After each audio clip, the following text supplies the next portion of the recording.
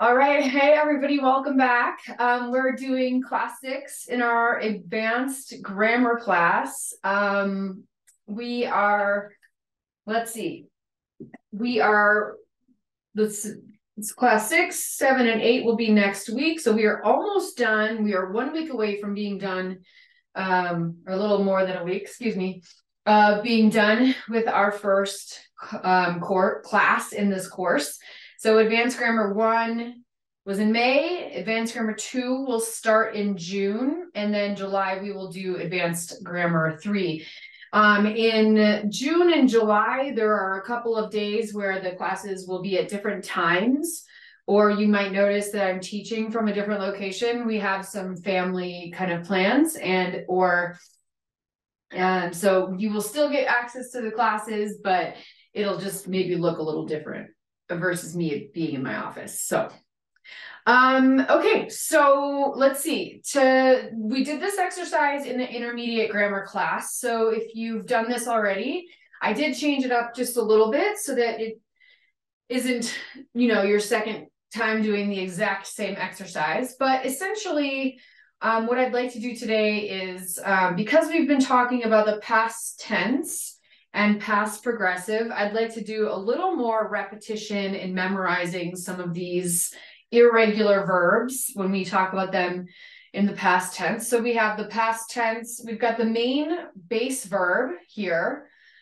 um, past tense, and then the past participle, which we use in a couple of situations, but mostly you're probably most familiar with the participle when we use the perfect tense. So I'm going to write an example sentence over here because it helps me to um, make sure that I get the sentence correct because I don't always know, oh, been is the past participle of be. I have to put it in a sentence in my brain to know what sounds right. Okay. So, for example, here the participle for be is been. Um, okay. And so the example I have been a teacher um, for um, how many you doing? 15, let's say 15 years. Okay. I taught before that, then. anyways, it's just a sentence. I have been. So that's the, you've got an auxiliary. This is your main verb participle. And then you've got this auxiliary here. We use this tense a lot. So um, next week we'll get into working with that tense more. And like I said, hopefully you have studied that in the past and this will just be like a refresher for you. Okay. All right, so let's take a look at what we've got here. Um, yeah, so we'll do this exercise, and then we've got a couple of things in the book that I'd like to go over with you. Um, and let's see, did we have any homework from last time? I have to look at my notes. Um, I believe I did give you guys homework. Um, and then if you need that list of irregular verbs to study, I do recommend that. I mentioned this in the intermediate grammar class as well. You know, really taking some time to learn these is one, it'll help you learn it. Two, it'll build your confidence so that when you're speaking, I mean, if somebody says the wrong past participle in English and they're a native speaker, which by the way, it happens a lot, um, it just sounds like like maybe they're uh not very smart. uh and it's that sounds kind of mean, but realistically, um proper sounding grammar really has you have to have these pieces the past tense correct and the participle um, correct otherwise. And, and, by the way, native speakers make these mistakes all the time. Um, drink, drink, drunk, those, that one for some reason, I, it like it never sounds correct in my mind. Like, is that the right way to say that? I don't know. Um, so anyways, you get the point. So actually let's, let's add that one on our list here. We'll, we'll put that on here, drink just because so many people make a mistake with that one, okay? Okay, if you want to pause for a minute and go ahead and see if you can fill in some of these blanks. So, for example, here we've got the, the verb is to be and the past tense is was or were. Okay, and then the participle is been. You can use this one for the past tense and work backwards to get your main verb here, and then use that to create the past participle. So take a minute if you'd like to go and do that. And I'm going to pull up my sheet here, see if there are any other verbs that I think we absolutely have to go over. Okay, um, if you didn't take time to do this on your own and you're waiting for me, let's go ahead and get started. Hopefully, if you did this on your own, you've got everything correct. So your main verb for the past tense of did is do. The past participle here is done. Okay, so the past tense of is came. Um, we're gonna go come. And then what I need to do here is I kind of have to put it in here in this sentence to kind of see what makes sense. So I have come. I have come to the conclusion that um, English is a crazy language to learn. okay. Um, the main verb is say. We've got the past tense. Said. Okay, said. Notice the pronunciation there. And then the past tense. I have said this a million times. Okay, I have said.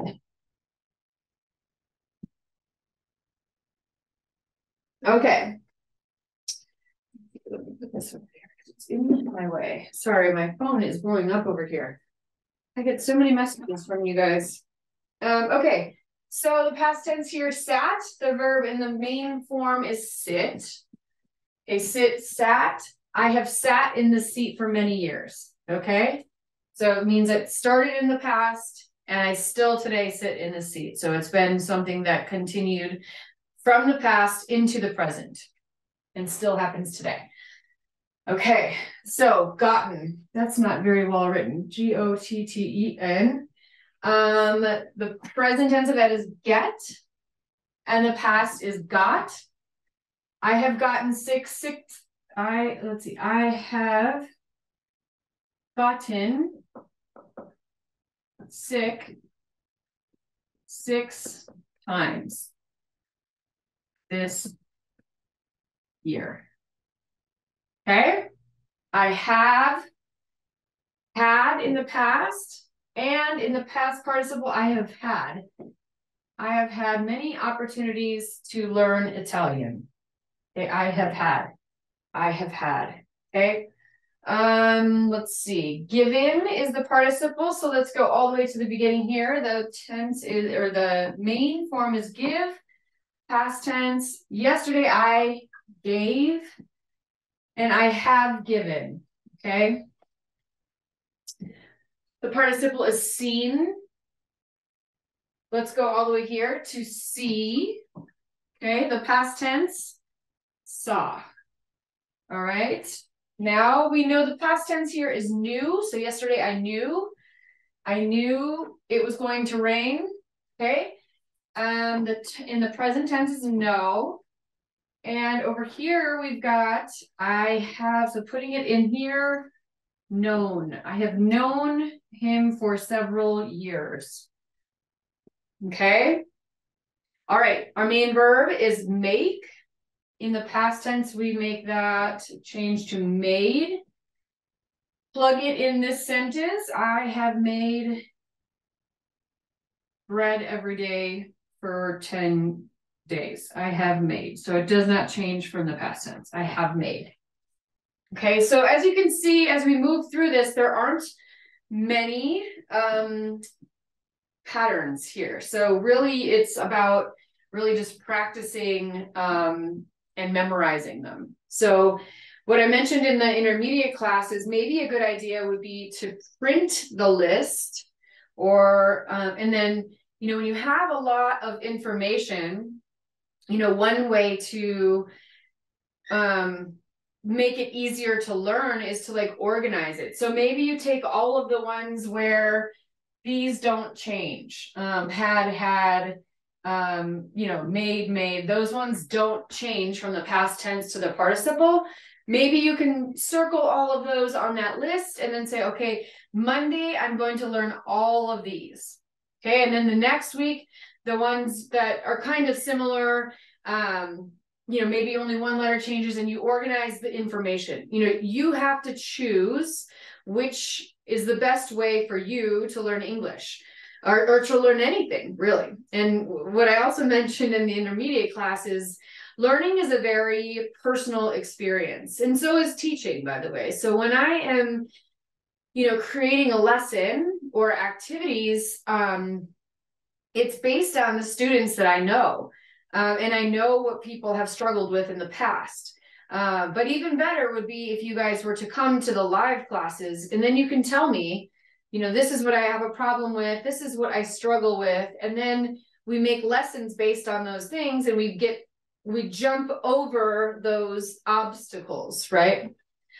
Um, together. And, and I, you know, like I said, the teacher is the one who creates the space for the learning and organize, it takes all the information and organizes it into you know, bite-sized chunks, we say, you know, something you can eat, something you can di- digestible amounts of material. Um, and then, you know, you create the the exercises to help you practice it. Um, but the bulk of the work or the majority of the work really is on the student to take what the teacher has given and I, if you don't like the way the teacher does it, you know, go find another way to look at it or look it up online and or in a book or a dictionary um, and find a way that suits your learning you know? Everybody learns differently. So so some people might not like my style of teaching and that's okay. Um, and so we just always have to be searching for what feels best you know all right, let's continue and wrap this up. So think is the verb here in the past tense. I thought yesterday. I thought I saw him at the party.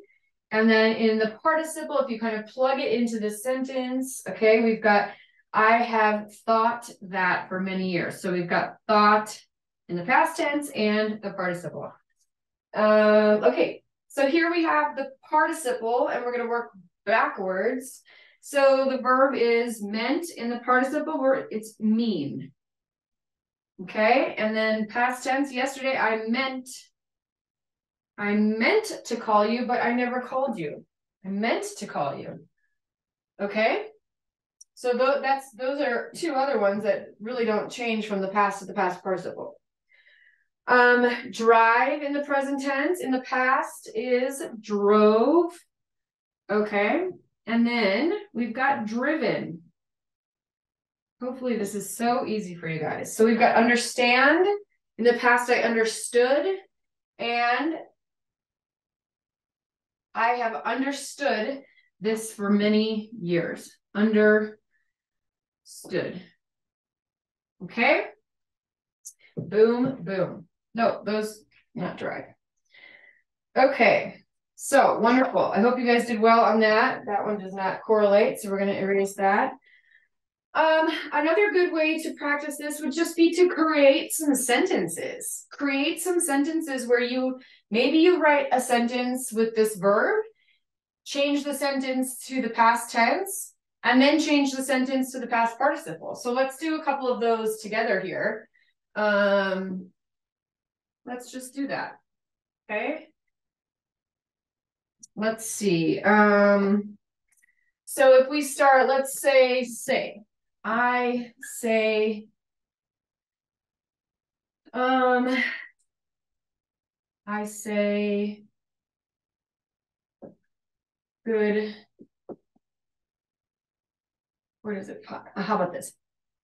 I've got an idea. I say positive affirmations every Oops.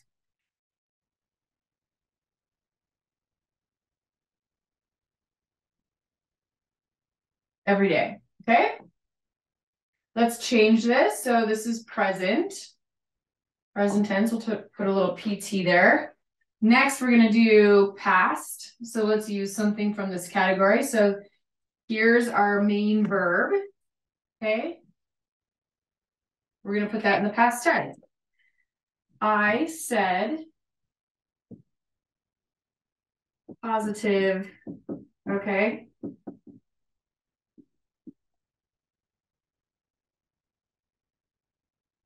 I said positive affirmations. I'm not going to use every day because that no longer makes sense. It's in the past tense. So I'm going to say something that references the past tense. So we're going to say yesterday. I said positive affirmations yesterday. And then let's put it using the past participle. Let's use the perfect tense. Okay. I have said positive affirmations. Okay, for two years. Okay, so that's one example. So if I were you, I would maybe maybe choose five of these verbs and do this exercise. Start in the present tense. Remember to use something that indicates it's present tense. I like um, ice cream. Yesterday, I liked chocolate ice cream. I have liked vanilla ice cream for many years. Uh, you know, silly example, but you, you get the point, okay? Let's see. Let's continue on here now that we've gotten this. Um, my suggestion, I said before, was to have take five words and do three sentences with each word using one, two, and three, okay? Um, I think that would be great practice. And then maybe that's your way of practicing these words over time is every day you do five and then in a month you've got most of them done okay um like i said i mean i think you know learning is always um about a being committed and being resilient with something and then executing your plan. So creating your plan um you know maybe you tell yourself i'm going to try this 20 minutes every day. I don't know if you've ever heard um what is that called? Um i have to look it up but essentially the guy says if you study or do something or practice something 18 minutes a day after i think it's 100 days you'll be better than 95% of the world in that particular thing so you know if you spend 18 minutes a day working on english after 100 days you're you are going to see improvement and that's the type of dedication that any learning is. You know, if I say I want to be a master yoga teacher, I definitely need to practice, right? I need to learn the names of all of the moves. I need to learn the adjustments that the teacher should be making and watching for. I probably need to go study with some guru in India or something, uh, you know, to really learn the essence of the of of it, of yoga. So, um, making a plan um, is is a really important piece. And another piece that I also think is if you are not very confident or you don't know for sure what the level you are at, meaning A1, A2, B1, B2, C1, C2, if you're at a beginner, advanced, intermediate, or advanced, um, you know, many people do not know um, what level they are at. So um, you know, just like anything, if you pull up a map on your phone, what's the first question that the map is going to ask you? It's not where are you going? It's where are you now? Right. So if you say, well, I want to, I want to be a fluent, I want to be fluent in English. I want to feel super comfortable. And I never want to have anybody say, I don't understand. Well, that's a, it's a great goal. It's a great destination, but you need to know where you are and then once you know where you are and you know your destination, then you make the map to get there, right? So it, you know, there are lots of online classes or excuse me, online tests. Um, there is one linked, I believe, on our homepage. If not, you know, message me and I can send you that link. But there are free versions, you know, that will help you kind of establish where you're at. And I, when I teach students live, um, it's that's where we start you know I, I i cannot walk into a classroom with 30 students and just start teaching i need to know what do you know? You know are you an advanced student? Have you studied past perfect present per you know i don't know. And i can do little interviews with students but realistically it's a test you know to find out where they are at. Does that make sense? So I know I have lots of little side speeches for you guys, especially today. I'm feeling very inspired, but you know, um, I've spent a lot of years um, teaching and thinking about teaching and how to be a better teacher and how to work better with my students and how to help my students achieve their goals. And uh, this is not to say that I know everything, um, but I I do I feel like I have witnessed a lot of um, I feel like I have witnessed a lot of learning and and watched the process of learning over the years. So I feel really grateful for that. Um, okay, I'll stop talking. Let's come over here to the desk and get some exercises done for you guys. So we're going to decide with these if it's simple past or past progressive. Okay. We're just going to move kind of quickly because I kind of expect that if you guys want to stop and do this on your own, I would pause the video right now. All right, let's look at the answers now. So we've got three conversations. Guess what? I was seeing or I saw Andre Agassi and Steffi Graf at the Club Rio last night. So they circled saw already because it's a one-time thing. Really? They're such a great couple. I want you guys to also be paying attention to my intonation and which words I'm stressing. Okay.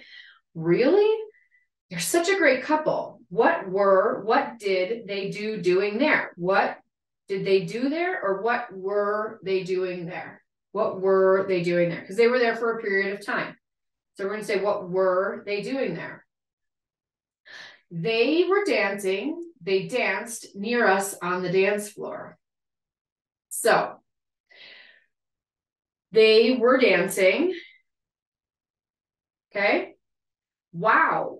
Did you get their autograph? So this you know, this when you're saying we're dancing or they danced near, it kind of doesn't both kind of have the same meaning because it happened and ended in the past. So I think this feels a little bit more correct to me because they started dancing and they danced for a while. Okay. But realistically, you could say they danced near us on the dance floor. They were dancing near us on the dance floor. Wow, were or did you get get getting or get their autographs? Did you get did you get their autographs? Yes. And then Graf gave me her pen. So it was a one time thing. Um, was giving. Doesn't sound right, does it? Awesome. Were you bringing it with you or did you bring it with you? Did you bring it with you? I want to see it. No, it was falling or it fell out of my pocket when someone was bumping. No, a bump is a one time thing. Bumped into me. I never was finding, mm-mm, found it. Okay, so sometimes things just don't sound right. And I hope that that's what you can develop is kind of this general feeling like, mm, that's just not right. It doesn't sound right. I mean, that's what a native speaker has, right? Okay.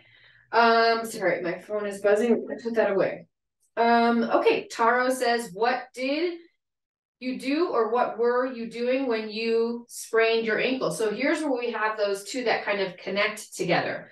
What were you doing when you one time thing sprained your ankle? So remember that those pictures, right, where you've got something that started in the past and then continued for a while and ended. This is what we call the progressive.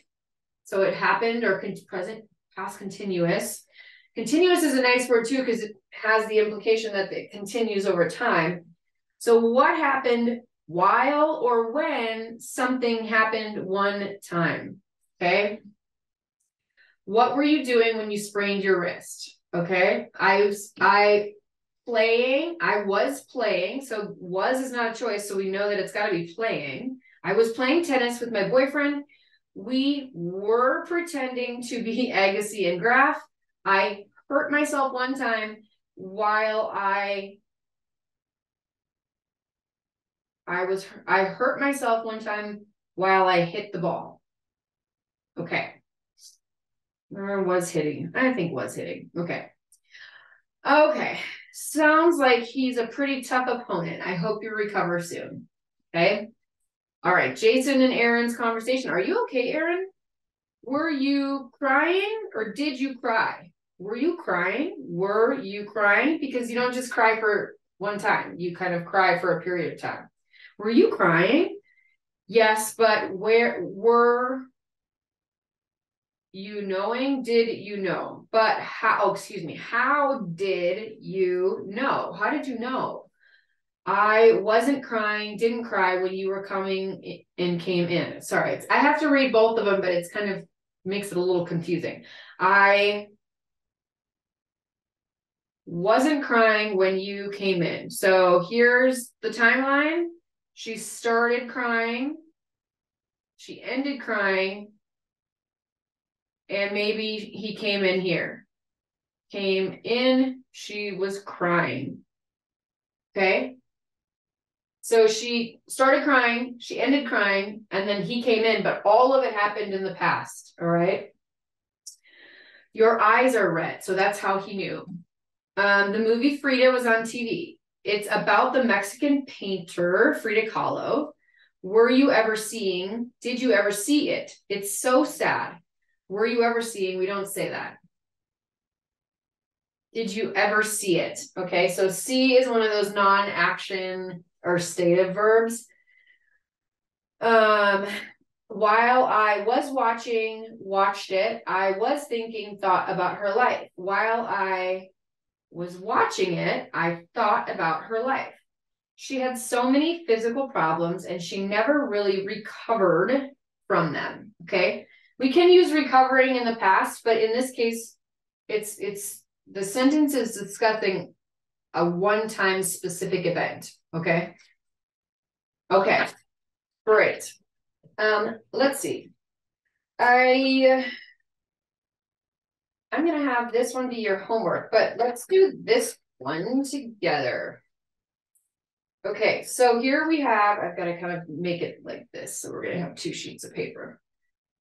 Okay, that make sense, guys? So we've got a timeline at the top. It says this timeline shows some important events in Monique's life. Use the timeline and the cues on the page to write sentences about her. Okay, so down here it gives us some cues.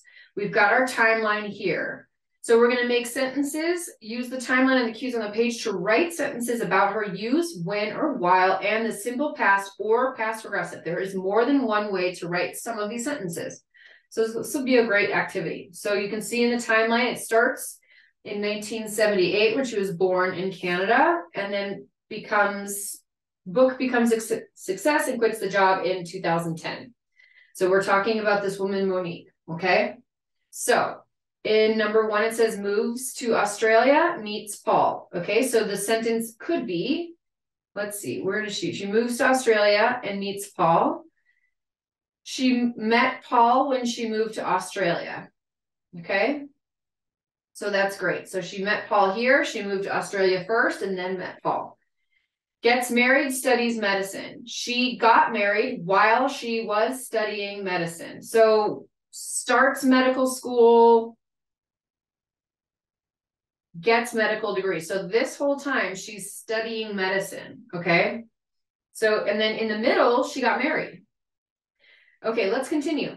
So lives in Australia. So she moves to Australia here and then gets married. So if we combine those two, um, we can say there's a lot of different, she was living in Australia when she was the past tense for get, got married. Perfect. All right. There are other ways you could say that. Let's see. What else could we say? She was living.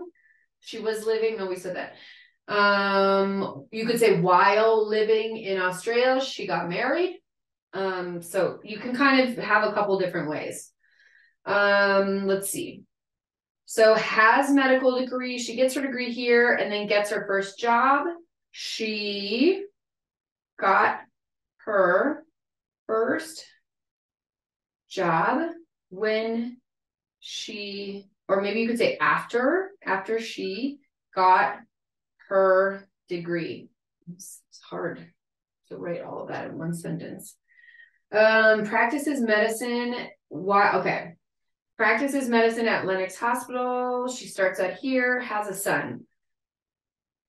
she had a son while practicing medicine at sorry Lenox Hospital. Can you guys see that? Okay.